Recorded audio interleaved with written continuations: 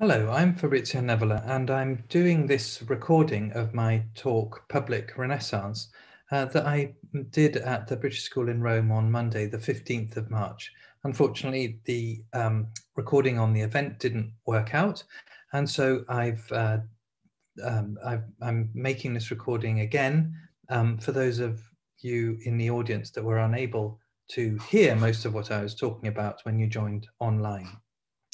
So first of all, thank you very much to the BSR for the invitation um, and um, on the day um, uh, for, the, for the kind introduction. I'm a member of the Society of Renaissance Studies, um, the UK's Society for Academics and non interested in um, all matters to do with the Renaissance. Um, and for those of you that don't know so much about the Society for Renaissance Studies, um, uh, you can join uh, for a fairly moderate rate, as you can as you can see, with a reduction for students.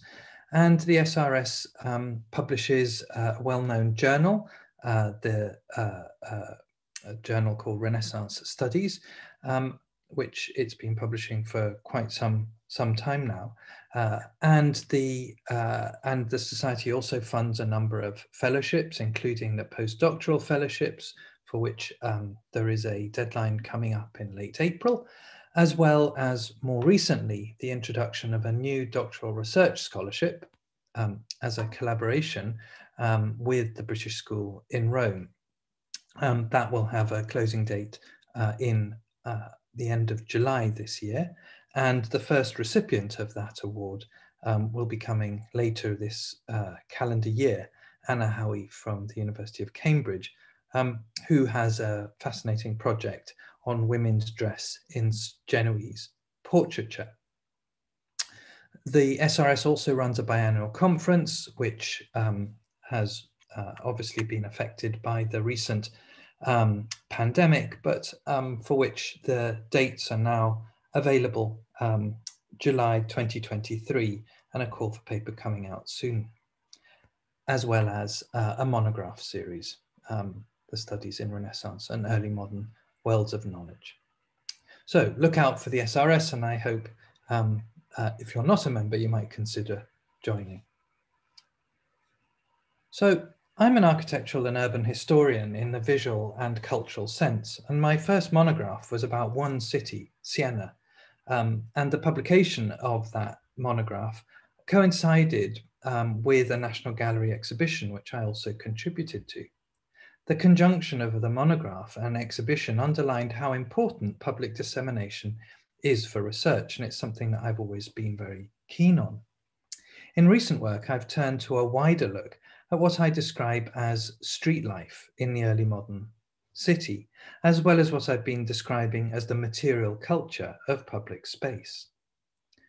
Developing out of this work are a series of apps that address the material and visual culture of historic urban environments. This participates in what's described, uh, what's known as the digital humanities or digital art history approaches to the Renaissance. I'll talk about my recent work today, but before doing so, I want to provide a little background. The talk is made up of three unequal parts.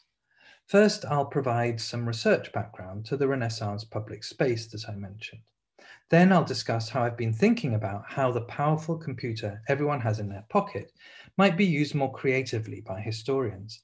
I'll discuss first a series of apps that offer location-based interpretation, then another project where apps are used to deliver 3D models of destroyed or transformed buildings as a one-to-one experience in cities and museums. The majority of the talk then is about making the Renaissance public rather than Renaissance public space, though there are, of course, overlaps. I'd like to say at the outset that all the work I'm discussing today would have been impossible without funding from UK and European research councils, as well as the Getty Foundation, and all the apps I'm discussing are free to download and use and operate with no profits. So a key interest of my work is the relationship of buildings and people that makes sense of cities as, as environments and communities.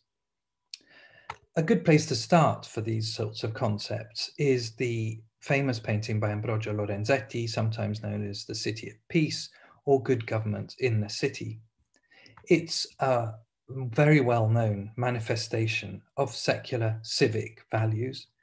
And viewed in its original context, it, um, it represents aspects of the urban, of a polity, of good government, of civic participation, in short, we could say of civil society. This is a representation of complex relationships that, co that construct civic image, a form of collective self-fashioning. Key to understanding this is the relationship of people and place. The interaction of people and space makes cities, and as we'll see in the discussion that follows, the triadic relationship between people, objects, and spaces is the main focus of my research and my digital work.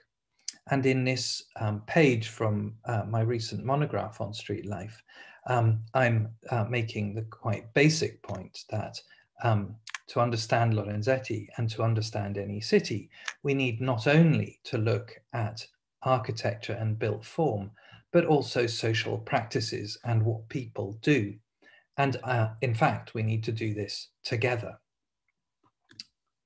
My research focus is on the experience of the urban realm, of public space, the meaning of what the contemporary urban designer Jan Gehl calls life between buildings. And Gehl will be known to some of you as the um, essentially the inventor and promoter of shared space, uh, that um, uh, that use of urban space, which for British audiences will be most familiar from uh, the Kensington Museum Exhibition Road uh, area, um, and or Brighton's New Road, places where the um, hierarchies between uh, uh, cars, bicycles, and people has been has been reduced to try and engage in a much more open, um, shared urban space.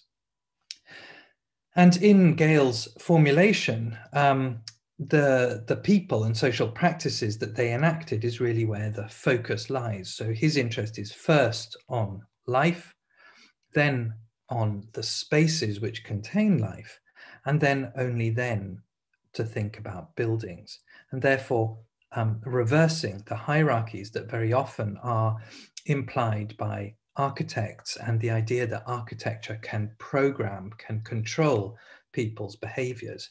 And indeed, if we think about architectural history, uh, reversing the hierarchy of the, our concentration on built form alone and thinking more about how built form is uh, engaged with by people.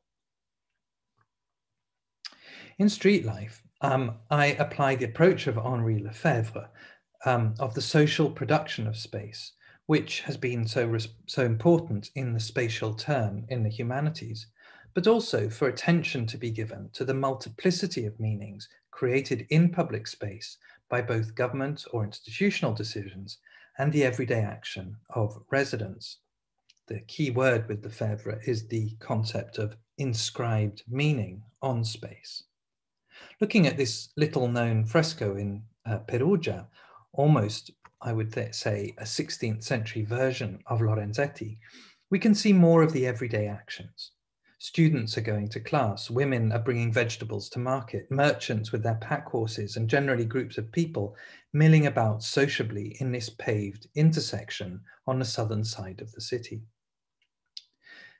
Street corners have emerged throughout my work as important and are largely overlooked sites in the city, places where the material fabric revealed traces of meaning, from street signs and coats of arms to bakeries and taverns where people gathered.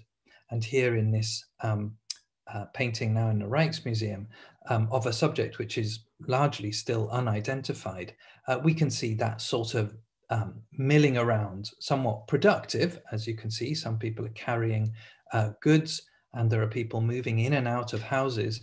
Um, but nonetheless, this kind of social aggregation around public space. I found it quite useful to look at analogies between the past and the present and to think about how space is constituted through the interaction of people here in a picture that I've just become quite attached to around the amenity of a water fountain In fact, it's almost certainly not a Renaissance water fountain. It's probably from the 18th century uh, and it's in Lucca. But what I like about it is the way that people who don't otherwise know each other are gathering around that water fountain and sociability is occurring on account of that amenity. The everyday and more formal ways in which meaning adheres to place can be documented in many ways, from street shrines to speaking sculptures, from fountains and coats of arms to the sites where banditori, town criers, made their announcement, announcements. So in this collection of slides uh, of images on the top left, you see a fountain with coats of arms on a corner, the, um, uh, the uh, Sprone uh, in Oltrarno near Ponte Santa Trinita, the speaking sculpture of Pasquino near Piazza Navona, also on a corner, or indeed the inscriptions that litter many of the, litter, uh, occupy many of the corners of um, palaces and houses in uh, Renaissance Mantova. The um, regularity with which these markers are uh, traced onto the edges of these facades is marked on the map on the bottom right, whereas on the bottom left, you're seeing a map in which I've plotted the locations of town criers uh, in the city of Florence in the late 15th century.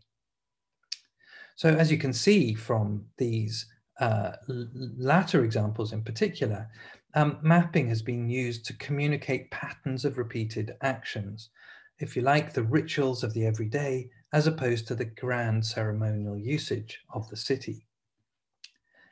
Mapping is a valuable tool of interpretation and, is, and as many of you will know, especially archaeologists who were first to adopt this approach, digital mapping using latitude and longitude uh, coordinates through GIS, geoinformation systems, has been widely adopted in the digital humanities. And uh, the example I was showing there is of um, the census data of the 50, early 1560s in Florence, which was plotted onto a map by uh, a GIS map by the University of Toronto Decima team, led by Professor Nicholas Terpstra. While I've used geospatial data in my own work, the unifying theme running through the rest of today's talk is not GIS, but GPS, Global Positioning Services, through location-based interpretation enabled, enabled by GPS that are one of the key affordances of the smartphone. Here in this uh, slide, what I'm using in a slightly dated version of the Google Maps interface, you can see the bringing together of the aerial view from a map and the street view in the Street View interface. And to me, this kind of captures uh, quite effectively what Michel de Certeau talks about in uh, Practices of Everyday Life, looking from the top of the um, skyscraper in New York and seeing and observing the contrast between this eye in the sky of surveillance and the lived experience on the ground. Now, of course, digital technologies and the fast and ubiquitous adoption of mapping technologies delivered through GPS-enabled devices have renewed and invigorated the spatial turn in the humanities that have been identified now for uh, a couple of decades.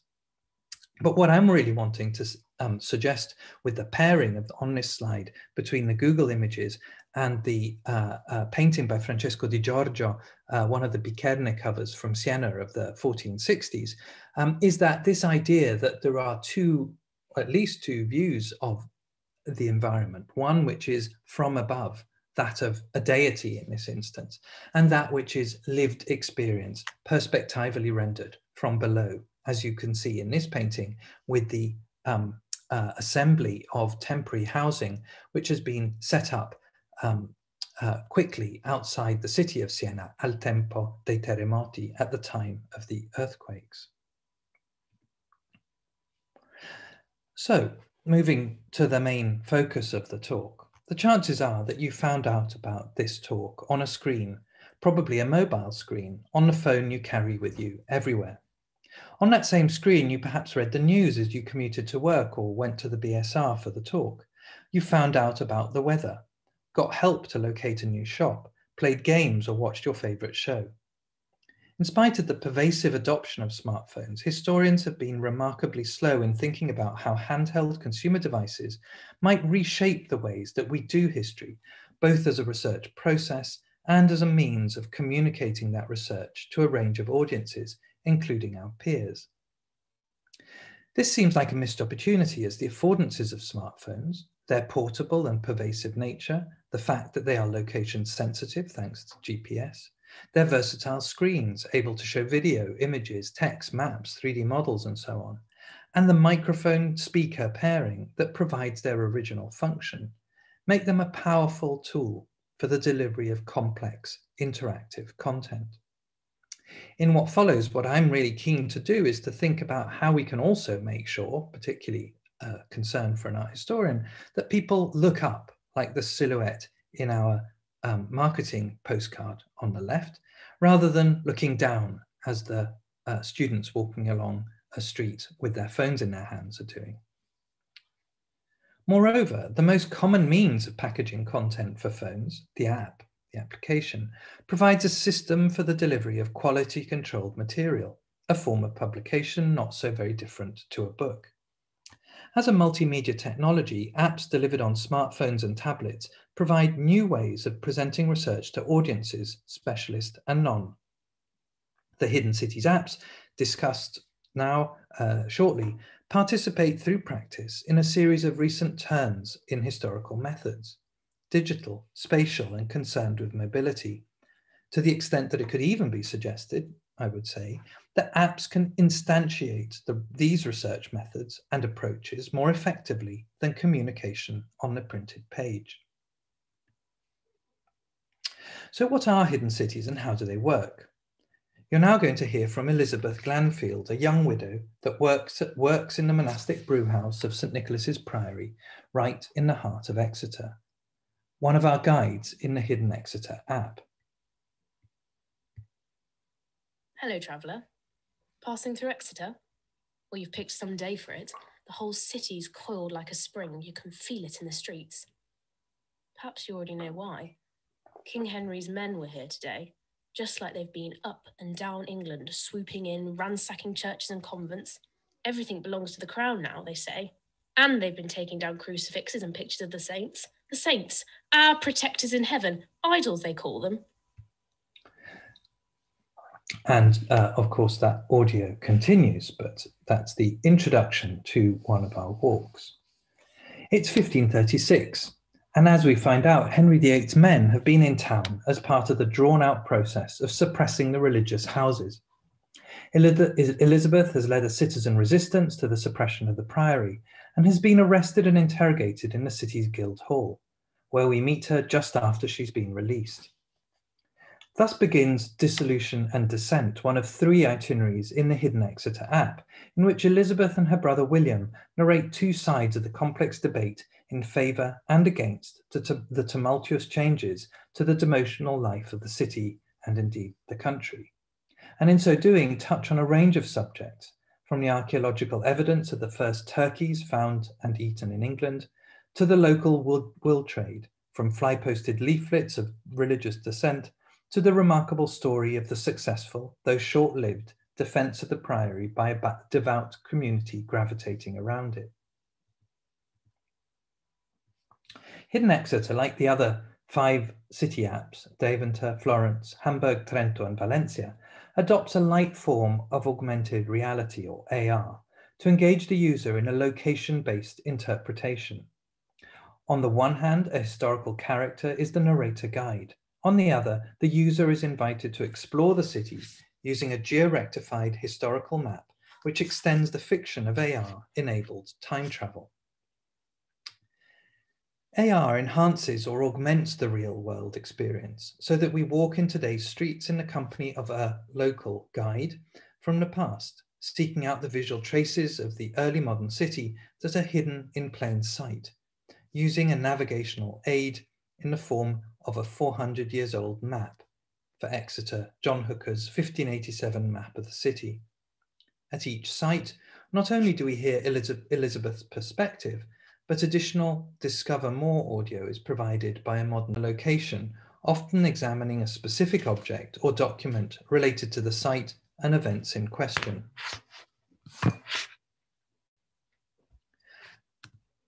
Outside the city's Guildhall, where we meet as Elizabeth, it is a document now held in the National Archives that describes the events and outlines the remarkable detail of men quote, apparelled in women's apparel, that is, dressed in women's clothing, that appears to have most shocked the king's men in the citizens' defence of the Exeter Priory. Additional written material, read more, is provided by further is uh, to further understand the historical evidence in a series of short articles hosted on the project website, with recommendations for further reading. In this instance, directing the user to published research by James Clark, who has recently explored the significance of this remarkable incident. As such, each site contains what we might describe as a series of nested content that moves from the scripted research and place-based storytelling to the short form interpretation and ultimately to traditional long-form academic written analysis. However, location-based interpretation or situated research takes a form quite different to that of books or articles, as the research trajectory is driven by the movement, by movement. So the sequence of an argument of, is set out along an itinerary and built up over a set of stops along it. The brevity required for audio delivered on site imposes certain limits on the interpretation to ensure that a chosen theme is developed over a series of sites without too many deviations from the main argument, while at the same time keeping the user engaged with the surroundings. So then, to stay with the dissolution and descent trail, the narrative arc begins at the Guildhall, the site where the trial account was set down, and moves back through the city to the Priory, where its events transpired. Through the careful selection of sites, some secular, others devotional, a narrative is built up that seeks to present the modern day user with a nuanced picture of the Tudor city and the debates that were taking place between maintenance of the status quo and those that supported change. For instance, as Elizabeth passes the ancient church of St. Olave's, she comments on its construction from the local red Heavitree stone and the tradition of its foundation by King Harold's mother, that is King Harold um, uh, of the Norman uh, from Norman conquest, but then goes on to discuss the recent visit of the preacher Hugh Latimer, enjoyed by her brother and late husband, but rather less so by her and others in the congregation who had threatened to haul him from the pulpit.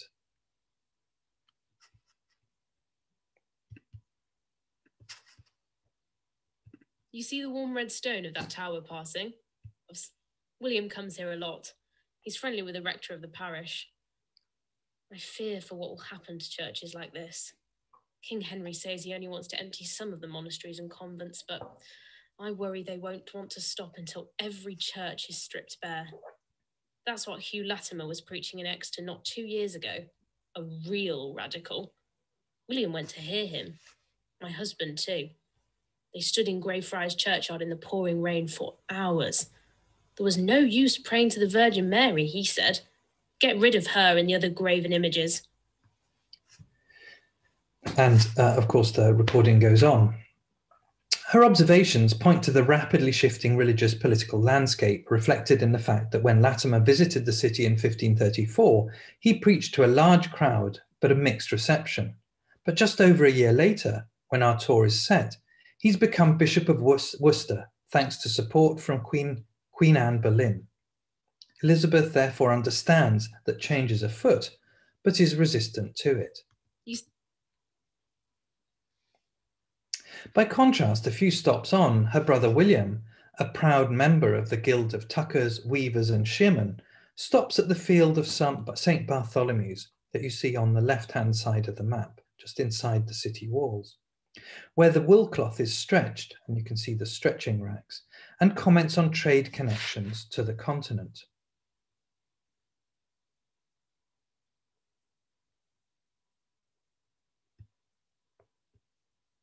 Loaded onto ships down at Exeter Quay, off to Flanders and Holland, but also to Normandy, Brittany, even Spain and Portugal. When these ships come back to Exeter, they're laden with barrels of wine and salt, among other things. Goods aren't the only things that come through our ports. I've seen pamphlets of all sorts against Rome from the Lutherans, and I know more than a few Exeter merchants who like what they've read or heard who are ready to see the church reformed and think that King Henry should move faster now he's taken the first steps. Again, William's audio also continues. Here instead, we're given an insight to the excitement and possibilities of change that touched populations far from the centres of the theological and political debates of the time. The rival siblings' position resolve in an argument that ends, uh, ends the trail at St Nicholas's Priory, destined for closure in spite of Elizabeth's efforts, and a debate around the possible opportunities to be had from the asset stripping and fire sales of movable goods and properties that were to follow. And here I'll just give a last uh, sample. It will all be gone soon enough anyway. Thomas Cromwell despises relics, pilgrimages, our holy saints, all of it. King Henry's men will be back here too. They'll tear down the church and sell off what's left. This part would make a fine townhouse for a merchant, don't you think? A pleasant parlour where they can drink and eat turkey. With the prior as their guest, no doubt. Nobody knows better than you that the brothers are as devoted to their ale. As they are to their prayers. Yes, I don't deny it, but. You know, it crossed my mind. I might be able to buy the watermill at Millhay for my own. Oh, wake up, William. The king has claimed everything. And who do you think will end up with the land when all's said and done? The local lords. Of course, the bigger picture of the effects of the dissolution is well known, albeit that interpretations differ on its destructive impact and iconoclastic fervour. But what the Apt Trail offers is a view from the ground, narrated not by the big players of history books and enduringly popular historical fiction, but rather as seen by the everyday residents of a medium sized regional centre like Exeter. In producing these character guides for the apps, most of them based on individuals, individuals that can be traced to varying degrees in the historical record, a form of critical storytelling is applied, through which historical analysis is channeled through the themed narratives that characters present, so as to give an audible voice to what may otherwise seem abstract concepts. As a research method, these character guides owe much to the practice of microhistory, to the degree that they favour overlooked testimonies from below, but suggest the potential to extrapolate wider meanings. Also, to Saidiya Hartman's practice of critical fabulations, where some degree of fictional interpolation fills the gaps of the historical record. Ultimately, however, the objectives of those are those of public history in the bid to take the historical research and make it accessible to audiences outside the academy. The short form narrative delivered through audio guides can convey complex themes in current scholarship, while also diversifying their voices and perspectives commonly associated with cities and sites known for mostly elite commissioned cultural heritage.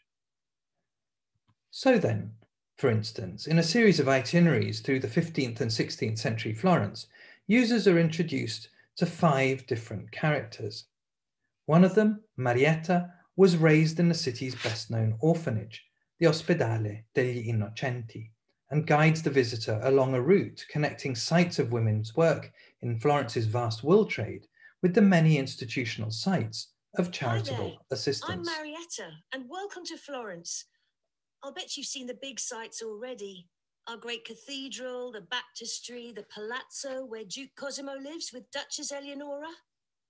It's 1561, and I've lived my whole life under the rule of Duke Cosimo. Duke Cosimo de' Medici. He's a clever one, that's for sure. Everything runs like a well maintained clock under him. You want a sad story? This pretty arcade has seen a few.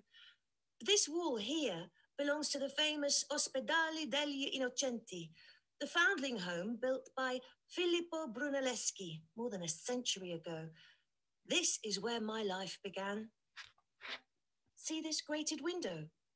That's where my mumma left me when I was a newborn. She took my swaddled little body and pushed me through the grate. Then she pulled on the cord over there, and a bell.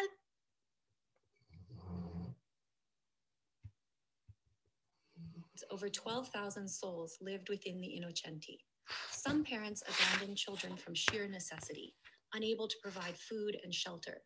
Some infants were abandoned naked, others in rags, as those who pushed them through the grate did their best to wrap them in the materials they had available. And so you get a sense there of um, the character, the story, and the discover more interpretation. Marietta stands in some contrast to the elite widow Nicolosa Alessandri, whose trajectory through the city from near the cathedral to a family chapel in San Pier Maggiore is bounded by the spaces accessible to her piety, gender, and status.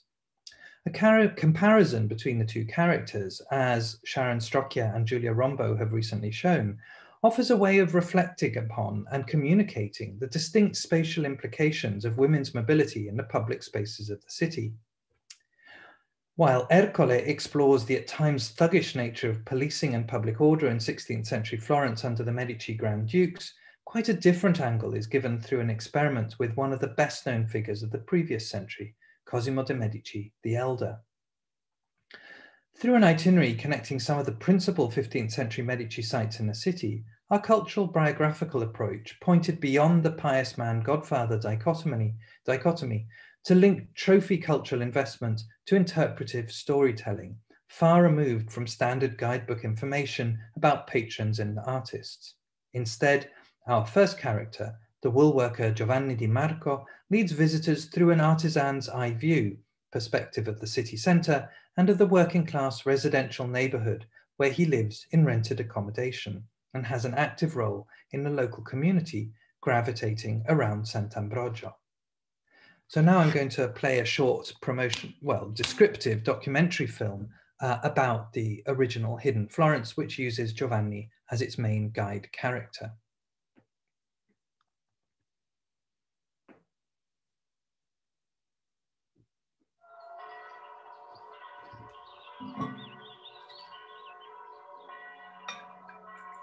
So I've always loved walking around cities and showing people what's there, what's there to be seen. And this is kind of how I got fascinated in GPS. Because obviously what GPS allows you to do is it allows you to attach the stories of the past, the stuff of history. It allows you to attach them to the objects, to the buildings, to the fabric of the city. So it's an ideal way of uh, talking about the things that interest me, about street corners, about the way that people assemble uh, in shops, uh, the way that coats of arms talk to us from the past about the people that lived in the buildings uh, that we're standing in front of. Rather than just have your standard historian or tour guide taking people around the city, we thought it'd be really interesting to have a period character, an invented voice, but nonetheless a period character who essentially acts as your guide. And we felt that that would just be so much more immersive. In a way, you experience the city with the character. In a lot of ways, the app is about going to places that, that people don't normally go to, that are off the beaten track of tourist itineraries. So the idea, I suppose, was to find a character that could also give a different point of view in Florence. In this case, with Giovanni the woolworker. Welcome to Florence. I'm Giovanni, Giovanni Di Marco. It's the year of our Lord 1490. Well, Giovanni is a, a woolworker from roughly about 1490. Um, he's one of the, if you like, the disenfranchised majority of Florence. He's a non-citizen. He's one of the people who work in the vast Florentine textile industry. He's one of the, if you like, one of the people who make Florence tick. If we have an imagined user for this app, we'd probably imagine individuals with their smartphone. But obviously for our trial, or various trials that we've made over the past few months, we've worked with small groups, and it's quite interesting to see how uh, they respond in different ways to the audio content, to the specialist information that we're providing, and obviously to the visual cues that the phone screen offers. And then principally, what I found very, very interesting is to see how once they've actually been introduced to the object that they're looking at, they will spend most of the time looking at the object. It's a way of directly communicating information with the visual subject of your inquiry in front of you. Obviously, for an urban historian, this unlocks enormous potential because the fabric of the cities of Italy is, in many cases, still intact.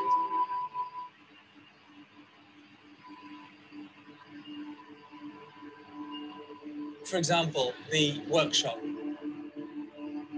Well done, you found it. the idea there was to bring Giovanni to a location where we could talk about a building which was very, very significant in the history of Florence, the cathedral. But rather than talk about the cathedral standing in front of the cathedral or up on the top of the dome, we wanted to take a location which gave our listeners an idea of how that massive dome was constructed by people. So we take you to the, essentially the modern site of the Cathedral Works Office, to the to the bottega, where stonecutters still work to create the replacement sculptures that adorn the exterior of the cathedral. In the background, you can see the dome, and Giovanni talks to you about the way that Florence is produced by by workers like him, whether they're making wool cloth or whether they're building the buildings of the city people go around Florence, they get stories about the Medici, they get stories about the Rucellai, they get stories about the Strozzi, whose palace I'm now standing in front of. What they rarely get are stories about wool workers like Giovanni.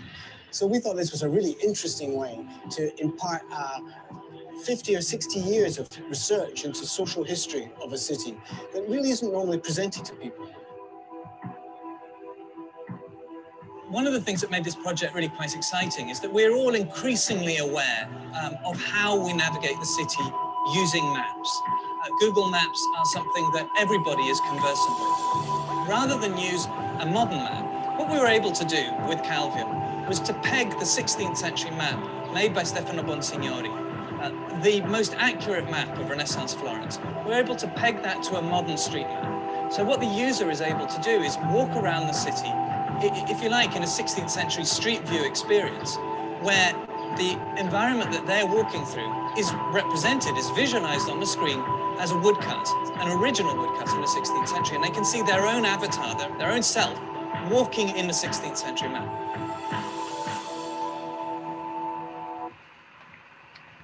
Which I think is what at least is quite neat.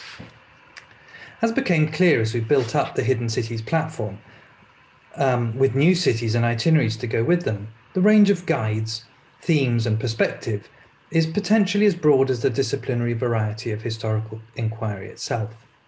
That said, some patterns invariably emerge as the place based format is informed by the Lefebvrean triad of how meaning is constructed through the interaction of people, places, and objects operating together in urban public space.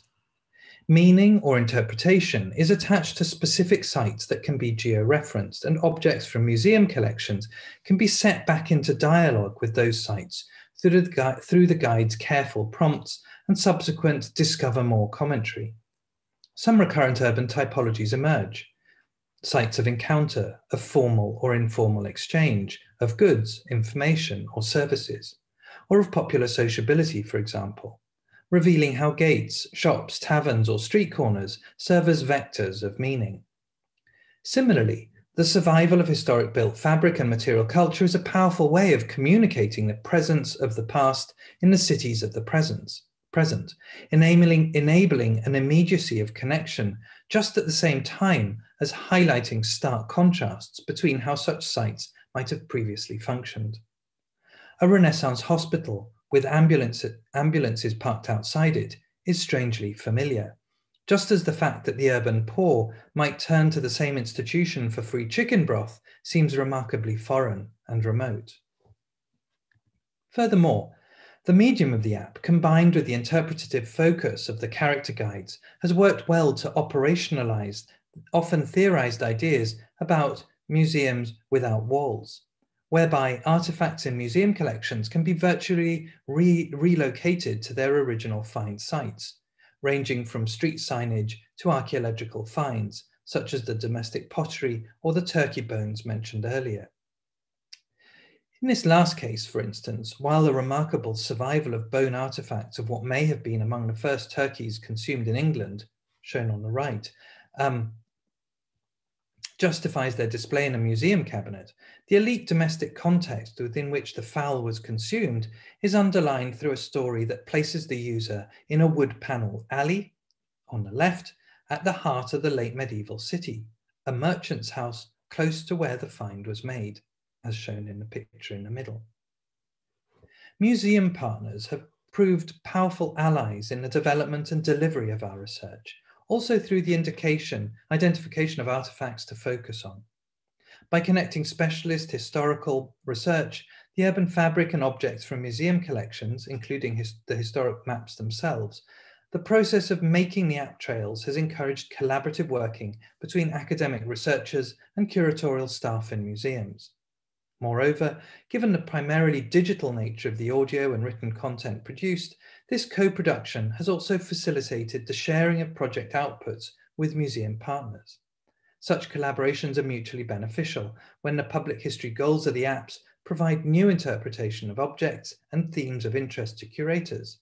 In turn, of course, museum visitors figure prominently among likely user groups for the apps. And here I'm going to show you another short video, which essentially talks about the research context within which the dissolution and descent video uh, uh, app trail that I discussed earlier was produced as a as you'll see.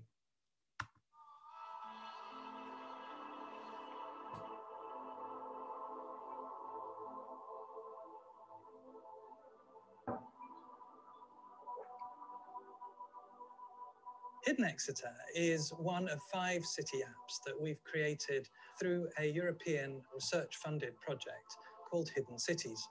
Good day to you, traveller. Welcome to Exeter in this, the year 1588 the 30th year of Queen Elizabeth's reign. My name is Thomas Greenwood, at your service.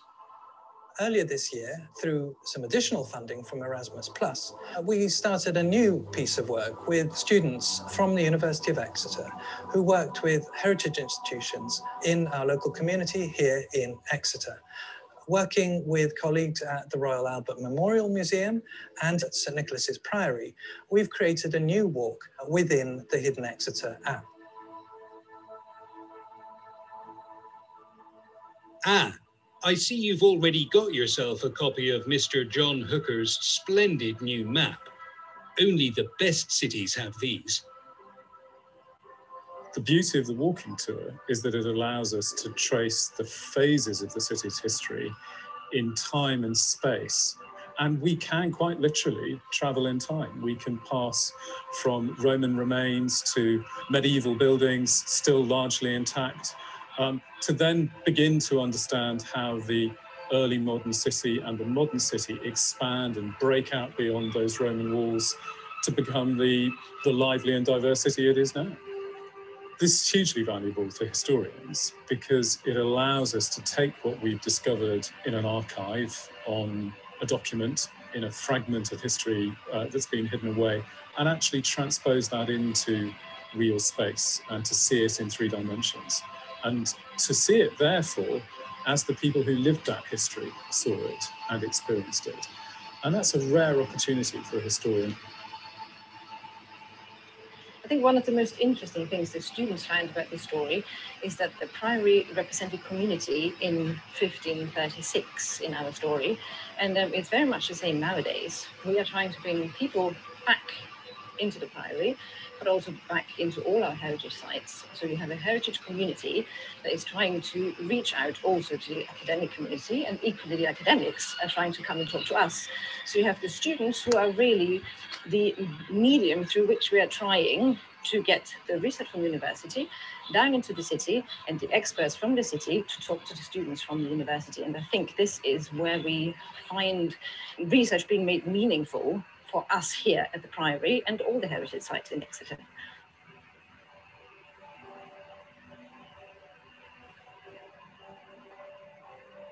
RAM has some amazing objects in its collection, and many of those relate to the archaeology of Exeter. We've got many on display, but we're always looking for innovative ways of making those objects accessible to people. So that's why it was particularly keen to work with the Hidden Exeter project. This is enabling people to get out into Exeter and actually experience some of those objects where they were found, of course, where they were used all those centuries ago. A walking tour is a great way to discover the history of a city because it enables you to make sense of what is otherwise often just a jumble of different time periods, different roof lines, ruins, modern buildings, all juxtaposed together. And through a walking tour, you can begin to put those different buildings and spaces into some sort of order and to trace the history of this place through them. You go from a, a jumble of jigsaw pieces into a picture that actually fits together.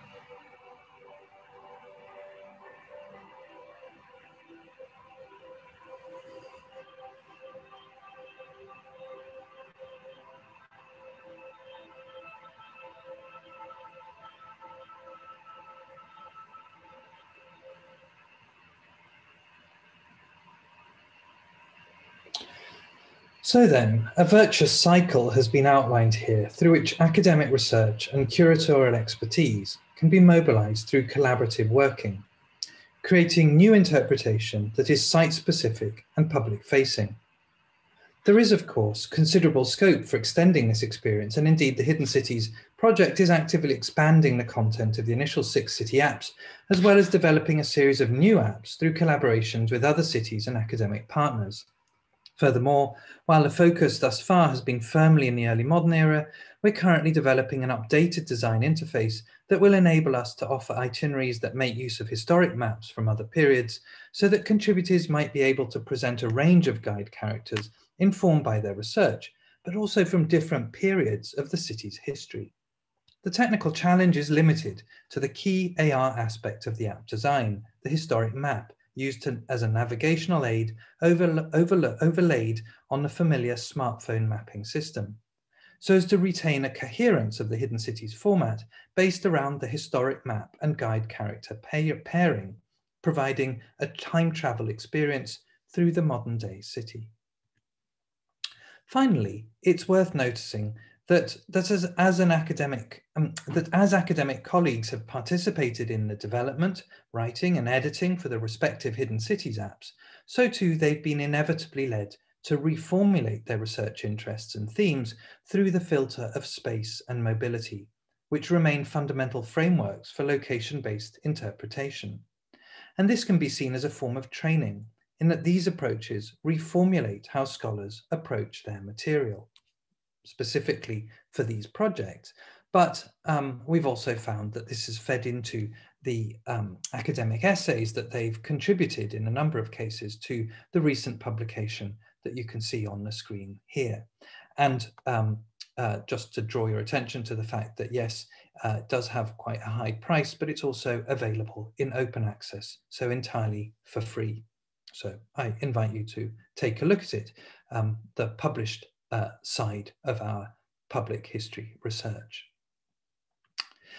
Um, so aside from book publishing, we've also um, had some less, uh, some more innovative, than the more innovative nature of the work we've been doing has also been recognized by Apple, um, Apple, who have invited us to create a series of guides in their Maps app, which any of you with a um, Apple device will be familiar with have a go.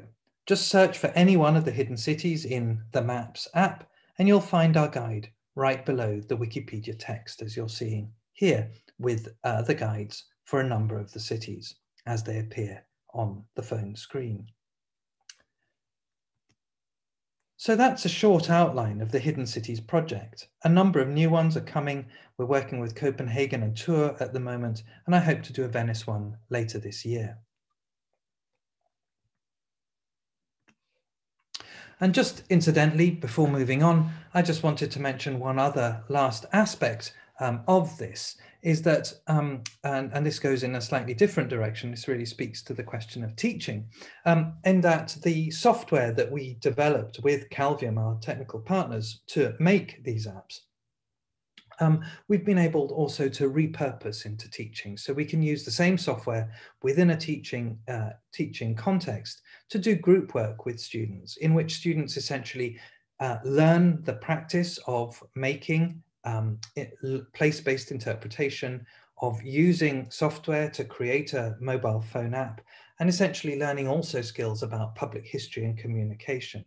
This is a fully digital project, a, a, piece of group work, which I developed with colleagues um, uh, through uh, last year's lockdown when we were unable to take students on a field trip and was so successful that we're actually doing it again um, uh, with our students who will go on a field trip later this year. And I'm also experimenting it with uh, students in Venice, where I'm currently um, doing a visiting professorship.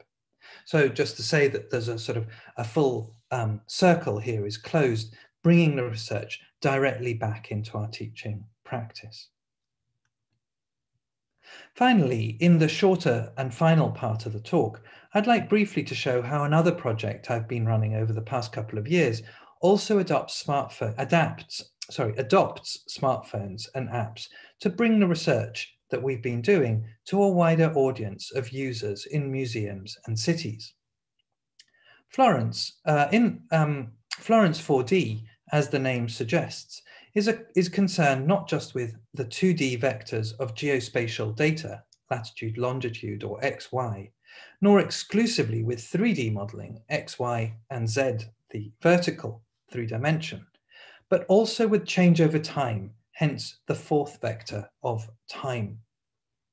Our primary research activity has actually been in the field of 3D modelling of built heritage and the reinstating of artworks now scattered around museum collections back into these models. To simplify, uh, we're making 3D models of buildings, such as the sorts of things that you might see um, in, in uh, computer games or in the CGI in movies. And we're putting artworks, which are now largely in museums around the world, back into those models. The work is pretty much at the cutting edge of digital art history and visualization approaches, and our work on Florence participates in wider debates and discussions about standards for research-based 3D modeling that I'm not going to be discussing today. Part of our outputs are indeed these 3D models, such as you're familiar with from, uh, as I say, from CGI in movies or computer games. But the big difference is that our models are not just are are not just research based, but we're working on how to footnote those models so they can be properly interrogated as a piece of research. We've also experimented with delivering these models as one-to-one location-based experiences. And here I'm going to just show a, a short video that um, describes how one of these models, the model of the Church of San Pier Maggiore, a church which uh, is has since, since been demolished, it was demolished in the 18th century, um, has been brought back to life through 3D model, a 3D model which can be uh, deployed through an app, um, both in Florence on the street, which uh, once was the nave of the church, and in London, where the high altarpiece from the church is now installed in the National Gallery's Sainsbury wing. Uh, and uh, I'll I'll just let, let you essentially watch, watch the film. Um, but there, that's the altarpiece. You see that the 3D model um, uh, is built off that altarpiece in the gallery space uh, and can be experienced in the gallery as well as in London at a fully one-to-one -one scale.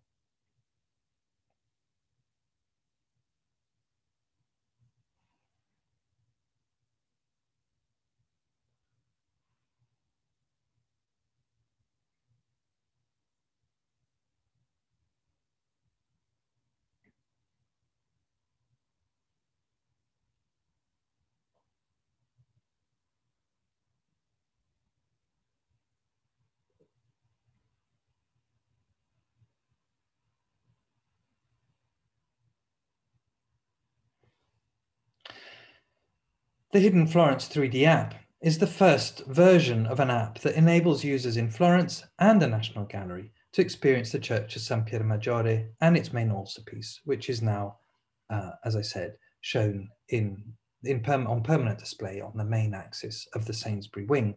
And one of the things that's remarkable is that uh, the Sainsbury wing is entire becomes entirely filled with this uh, 3D model and thus renders at some in some way the full scale of, uh, of the church that originally um, the altarpiece was uh, the primary focus of.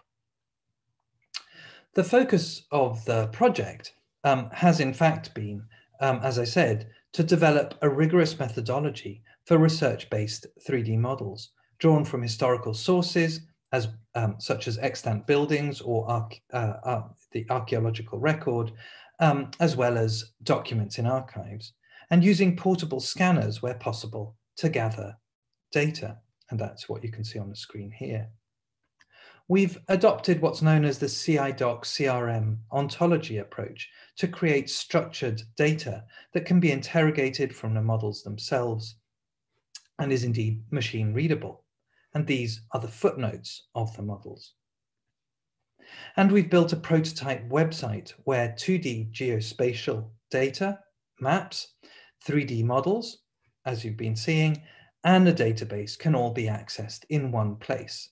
And uh, the technical challenge here in particular was making the models um, interoperable uh, across the app platform as well as the web viewer.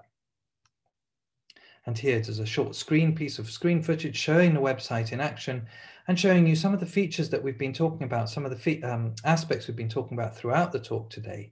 The laying of historic maps onto modern maps. In this case, you can see the little 3D models, which um, reveal to the user uh, where there is 3D content um, attached to our, uh, attached to our uh, website. Um, and uh, shortly, you'll be seeing also uh, the way that you can toggle between different map layers, the 16th century street view of Bonsignori, the late 17th century more accurate map of Zocchi, and the contemporary um, aerial uh, satellite view uh, that we're familiar with from Google and other platforms. Um, we can move through the uh, website, searching for different types of data, and then enter into the 3D model itself through this viewer window, which allows you to navigate through the building itself. Um, as you can see using uh, a mouse, uh, I'm afraid that uh, my face is obscuring the bottom right hand corner where you can see the navigation button which allows you also to click between chronological periods. And on screen you can see the hot spots which we've attached to objects so that people can learn about the objects in the screen itself.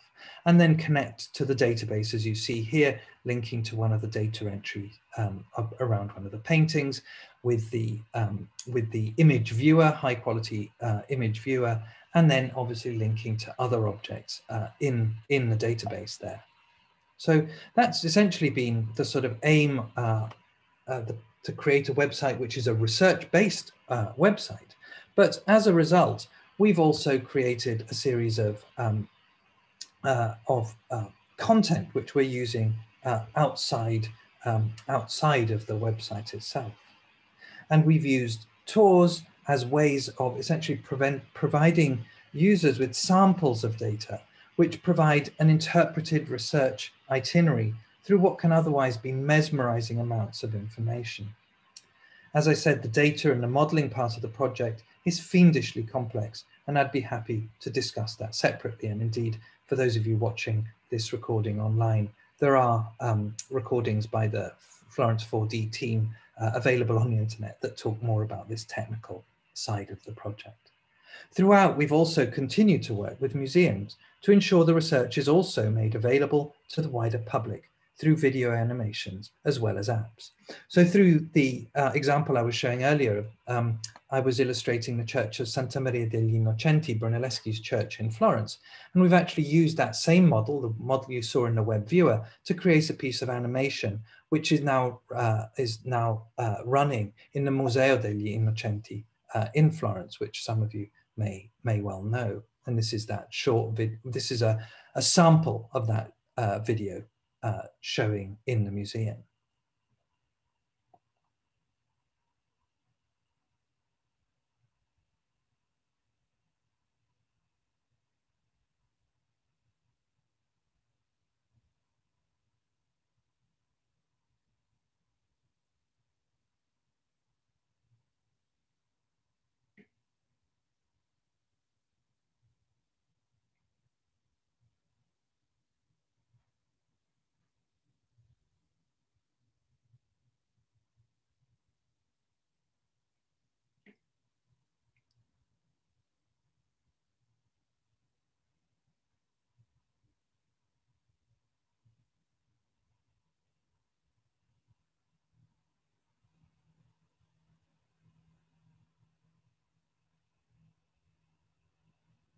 So there, um, uh, as you can see, we've continued to work with museums with our outputs so as to make the research directly relevant to how people understand artworks in museums and can recover their original viewing contexts.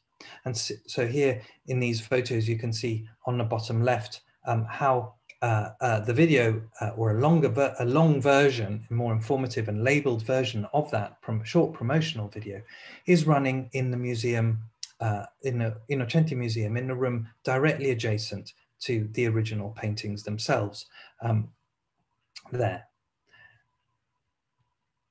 And we're continuing to and we're continuing to expand the scope of the Hidden Florence 3D app, somewhat along the lines of the growth of the Hidden Cities apps that I was talking about earlier, to enable new buildings to be brought into the system based around new opportunities for partners working with us, with museums. So here in these pictures, you can see us earlier this year um, in the V&A uh, uh, measuring up so, uh, so that we can deliver the same 3D experience as we've done for the National Gallery, the Jacopo di Cione High Altarpiece, uh, we can run that same experience in the V&A Gallery so that uh, visitors can experience the um, Della, Della Robbia uh, angels that you see on the left-hand side of the screen there, um, we can see that they can see those uh, in the context of the original church and altarpiece which they formed a part of. Um, a related piece of work um, of animation, uh, digital animation work, is in fact currently running, uh, went live last week at the Fitzwilliam Museum in Cambridge as part of the Hockney's Eye, the art of technology of, of depiction, uh, in which we've um, uh, uh, shown through video uh, how perspective uh, was used and modified by artists in the early 15th century in Florence.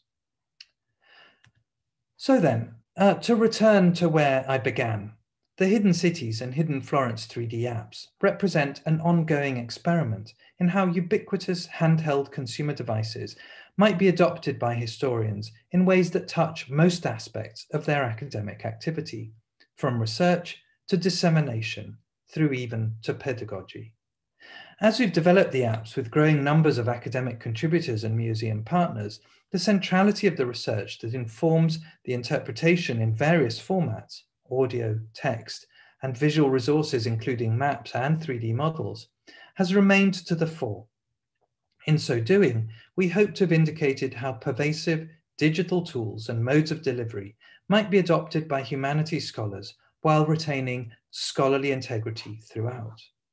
We very much hope and expect there to be imitators, but also welcome contributors to join us in this endeavour. Uh, thank you very much, and thank you also for your patience in waiting for this um, recording to be made available online uh, if you were among uh, the audience that um, had a disappointing experience uh, on the day that I gave the talk uh, last week.